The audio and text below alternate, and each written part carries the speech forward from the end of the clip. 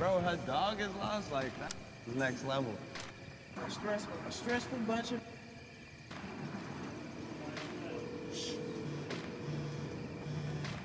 Hello. Hey, uh, I brought the dog.